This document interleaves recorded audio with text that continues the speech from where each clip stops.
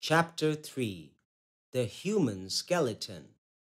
Get into, match the pictures to their functions, supports the weight of our body, protects our heart and lungs, protects our brain, protects our spinal cord.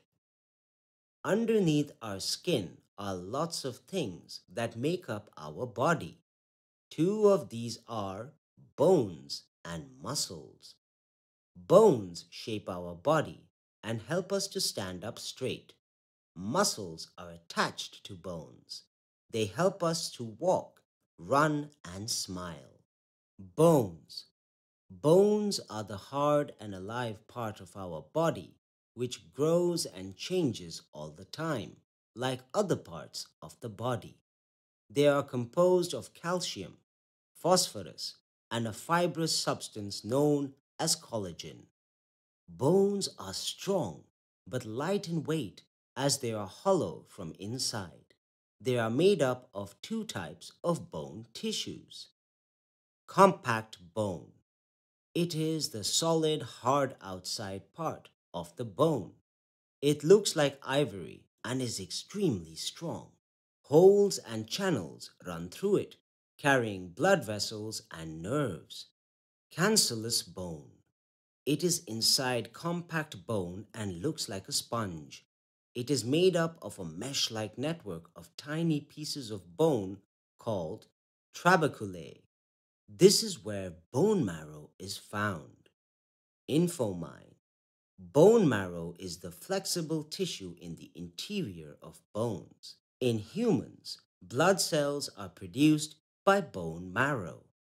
Skeleton is the framework of bones.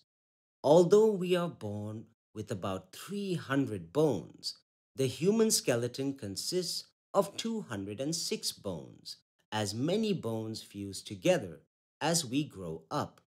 The human skeleton consists of number 1, skull, number 2, spine, number 3, rib cage, Number 4.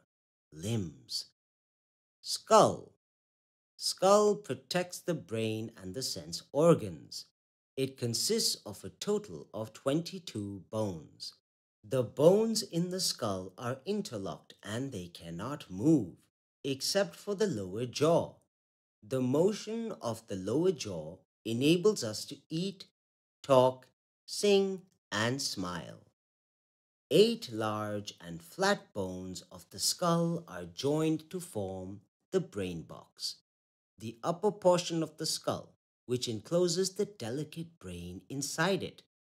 The remaining 14 bones fuse to form the face. Infomine. The important facial bones include the lower jawbone, upper jawbone, cheekbone, and the nasal bone. Spine the spine or backbone is one of the most important parts of the skeletal system. It is attached to the skull. It holds our body upright. It lets us twist and bend our body. The spine consists of a series of 33 small ring-like bones called vertebrae, forming the vertebral column. It protects the spinal cord a large bundle of nerves that sends information from the brain to the rest of the body. Rib cage. The bones present around the chest are called ribs. The ribs form a cage-like structure called the rib cage. Rib cage protects our heart and lungs. There are 12 pairs of ribs in our rib cage. All the 12 pairs of ribs are attached at the back to the spine. A long breastbone called sternum holds 10 pairs of the ribs in their place in the front. The remaining two pairs, which are not attached to the sternum, are called floating ribs. Limbs. Our body has two pairs of limbs, forelimbs and hind limbs. Forelimbs are our arms. The arm is made up of two parts, upper arm and lower arm. They are joined together at the elbow. The upper arm has one long bone. The lower arm has two bones. The upper arm is joined to the spine by the shoulder girdle. The hand has many small bones. Hind limbs are our legs. The leg is also made of two parts, the upper leg and the lower leg. They are joined together at the knee. The upper leg has the longest bone in our body called the femur. The lower leg has two bones. The lower part of the upper body is joined to the femur by the hip girdle. The foot has many small bones. Infomine. The foot is one of the most ticklish parts of the body. Up for review. State true or false for the following. Bones are the hard and alive part of our body. The backbone is made up of 22 small bones. The floating ribs are joined to the sternum. The longest bone in our body is called ulna. The upper arm is joined to the spine by the hip girdle. Joints. Joints are the places where two or more bones fit together. Bones are held together by strong bands of fiber-like structures called ligaments. They control the amount of movement of bones. There are two types of joints present in our skeleton, movable and immovable. Let us read about these joints in detail. Immovable joints. The immovable joints do not allow the movement of bones. The joints of the skull, the joints between the rib cage and at the breastbone, etc., are the immovable joints. Movable joints. The movable joints provide free movement to the body as they contain a lubricating liquid. Our body has four kinds of movable joints. Number one, ball and socket joint. Number two, hinge joint. Number three, pivot joint. Number four, gliding joint. Ball and socket joint. A ball and socket joint allows movement in all directions. In this joint, the rounded end of one bone fits into the socket or hollow of another bone. Ball and socket joints are found in shoulders and hips. Hinge joint. A hinge joint allows movement only in back and forth direction. It acts just like a hinge of a door. The hinge joints are found in elbows, knees, toes, and fingers. Pivot joint. Pivot joint is where the skull meets the top vertebrae. It allows us to bend our head up, down, and sideways. Gliding joint. A gliding joint allows the bones to slide against each other in a gliding motion. It is found in the wrists, ankles, and the vertebrae of the spine. Infomine. The strongest muscle in the human body is the tongue. Muscles.